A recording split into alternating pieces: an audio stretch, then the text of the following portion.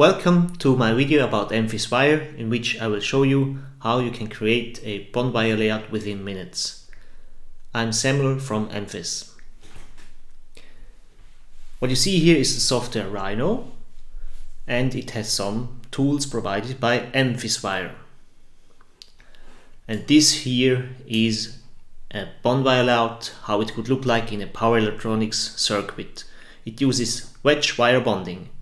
The software can also do layouts of ball wire bonding. First I will delete this layout and then I'll create it again.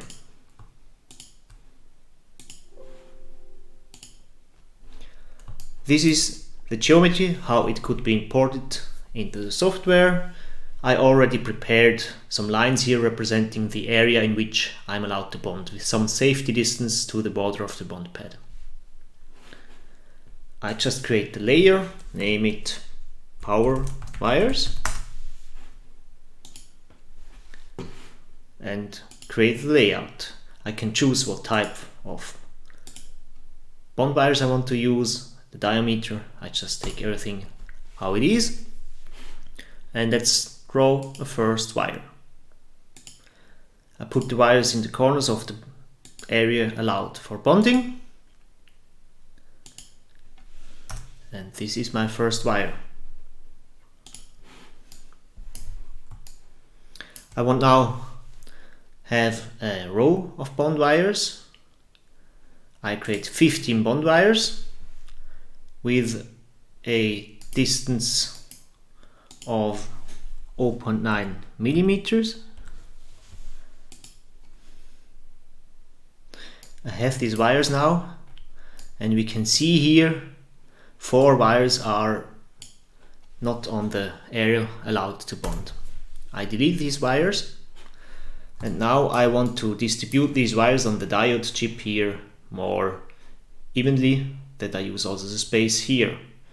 I change the view and I see the control points of the wires. I can select the control points and I can scale these control points.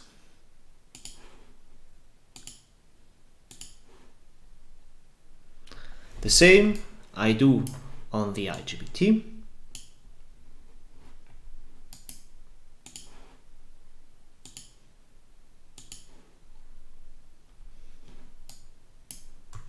Okay, here we have some bond points that I have to move to.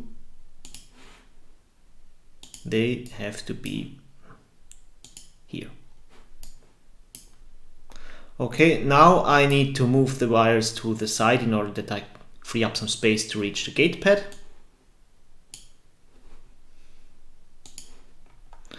For this I use the gumball tool. I move these wires, these wire feet to 2 millimeters to the left and these one 2 millimeters to the right. Okay, I create now the layout for the control wires.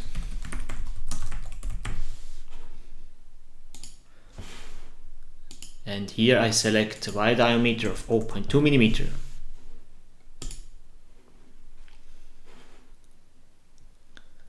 I add the bond wire from the center of the bond pad to the center of this fillet radius okay. And I want to rotate the bond feet. I first align the bond feet with the axis. Okay. And the destination foot I will rotate by 90 degrees. Okay. Now we have to do the same layout here, just mirrored. So what I'll do, I, I select all these wires and let's mirror the wires. This is the mirror command. I select between this endpoint and this endpoint and this is my mirror axis and I get the wires on this side. Okay, see here the foot is rotated in the wrong direction. I have to correct this. It must be nine, minus 90 degrees. Okay, then there's one bond wire missing from this metal pad to this metal pad. Let's add this bond wire.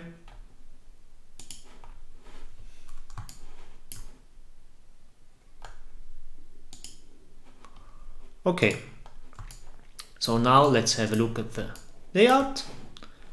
Let's change the display mode to shaded, then we can see it better. So I might now fine tune the loops. I call the loop parameters dialog and I want to define the loop height with reference to the source, not, not the, the destination bond wire here on the substrate. Now the reference is the source on a chip and I prefer the reference on the substrate. So I put all references to destination bond, click apply, and now the wire is a bit lower. I want to change also the height of this first stitch loop. I just put 2.5 here. I want to change the shape. Uh, I will produce other videos where I'll explain what these values mean. Okay, it's now looks for me better. Okay, and now I want to copy these parameters to all the other wires. And I can do this with the copy wire parameters command. I select all kind of parameters to copy. And now I'm done. I have my layout.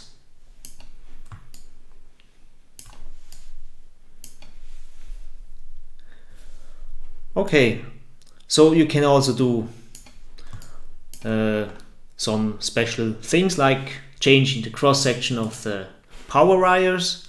Let's define a hexagonal cross section and this can be useful for a finite element simulation. It is much more efficient to mesh such a geometry than round wires. And since Rhino is a full-featured 3D software, you can do a lot of things like also creating a 2D drawing out of this 3D uh, geometry and I show you an example. This is a PDF generated using Rhino. We see here the bond wires with um, X coordinates indicated here and also the bond points. These are green points which show the start of the bond wire and on the other side we have blue, this is the end of the bond wire and you can also indicate where you have your reference for the bond wire coordinates.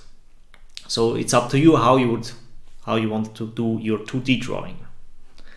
And you can also do nice renderings. And if you go to the MFis website, go to mfis.ch slash wire. And here you will see nice pictures. And this is, for instance, a nice rendering. And I hope you enjoy MFis Wire.